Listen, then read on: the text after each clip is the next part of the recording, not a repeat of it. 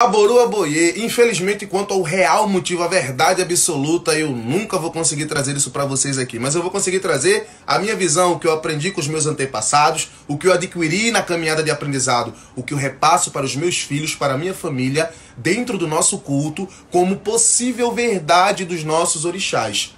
Eu entendi de que no Odu Oturamiji, e teve um tempo em que Orumilá, ele viveu em meio a pessoas incrédulas do seu culto, que o perseguiram para matá-lo. E quando ele chegou a um ponto em que ele ou pulava no abismo e caía no mar, ou enfrentava seus inimigos, ele guardou Ifá dentro de um pano, ele guardou os iquins dentro de um pano e colocou sob a raiz de uma árvore, para que Ifá não caísse em mãos incrédulas, em mãos erradas. E então, quando os inimigos chegaram, ele pula. Quando ele pula, ele cai em cima de um polvo. Esse polvo joga tinta sobre ele. E os inimigos de Orúmila dão ele como morto, pensando que aquilo é o sangue de Orúmila. E vão embora. Ele agradece ao polvo e diz que daquele dia em diante, nenhum dos filhos dele jamais comerá o polvo de novo novo. Então ele sobe para procurar seu ziquim. E quando vai procurar na raiz da árvore, não está. E ele vê que o caranguejo puxou o ziquim dele para dentro do buraco. E assim agradece, pois entende que o caranguejo escondeu e famaz bem escondido para que não caísse em mãos erradas. Então ele promete que dali para frente nem ele, nem os filhos dele jamais comerão caranguejo em respeito a esse ato